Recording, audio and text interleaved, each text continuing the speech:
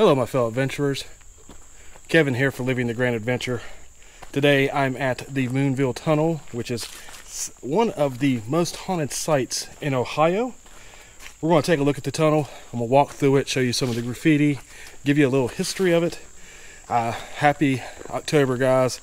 In honor of Halloween, I am at the one of the scariest sites supposedly in Ohio, one of the most haunted. This is the one of the entrances.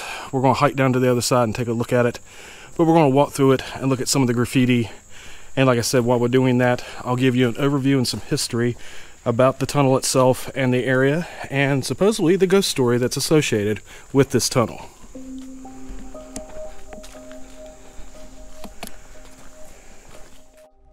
In researching the Moonville Tunnel, I was fascinated by its history. In 1856, a man by the name of Samuel Coe gave the Marietta and Cincinnati Railroad permission to construct a rail line through his property. This rail line transported coal and clay from Marietta, Ohio to Cincinnati, Ohio as a cheaper form of transportation than had existed in previous years. Coe, for his part, hoped to use the rail line to ship his own coal and clay for little to no cost. The railroad accepted this because the land was given freely and it was a more direct route than had previously existed. Moonville sprung up near the tunnel and is thought to be named after the man who ran the town store, Mr. Moon. The community consisted mainly of miners, railroad workers, and their families. At its peak in the 1870s, the town housed roughly 100 people. Moonville consisted of a few houses along the track, a general store that was housed in Coe's larger home, a school, and a saloon.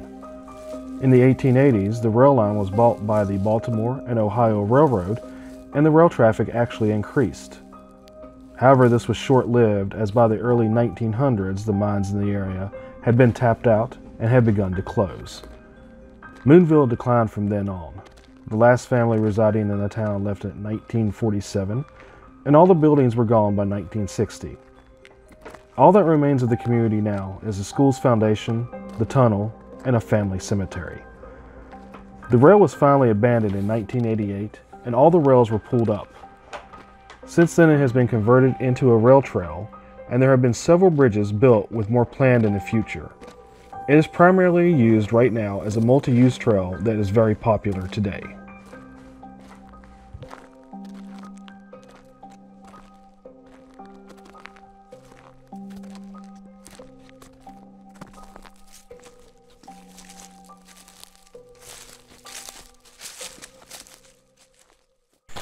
Hey guys, before we walk back through and take another good look at it, go ahead and let you know this is the entrance.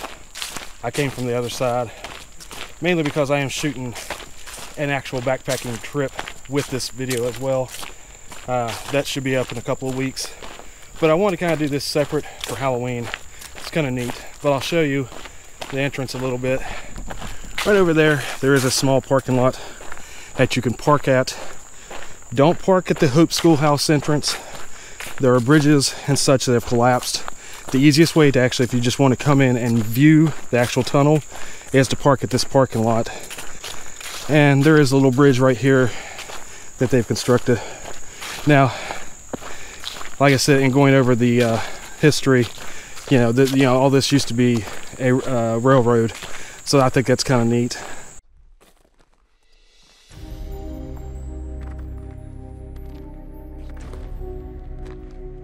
There are a number of ghost stories and legends associated with the Moonville Tunnel. I'll cover some of the more popular ones, but for reference in my research, there have been at least 26 verified deaths at or near the Moonville Tunnel.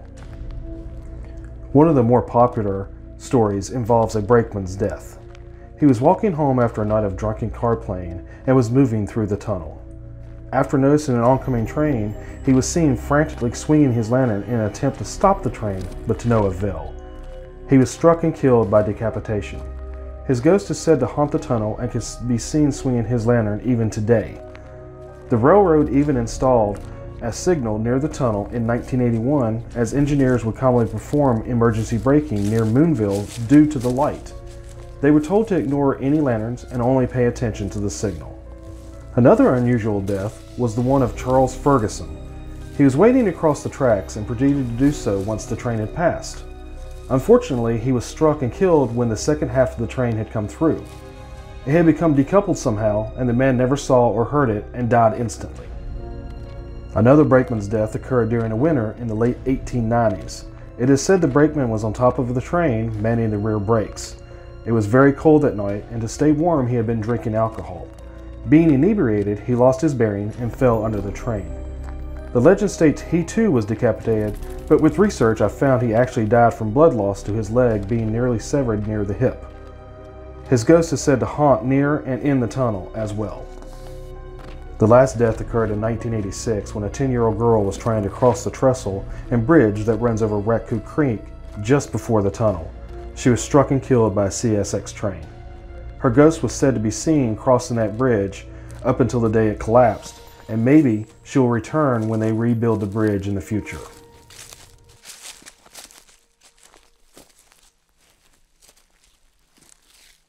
I hope you like a good ghost story in the middle of October. Great way to celebrate Halloween and just enjoy the season, if you will. If you guys have liked the video, make sure you hit the like button down below. That'll let me know if you want to see more uh, videos concerning maybe history here in Ohio or different areas. And maybe I'll be able to go out and do a little bit more paranormal exploring. This was kind of neat to learn about and share with you guys.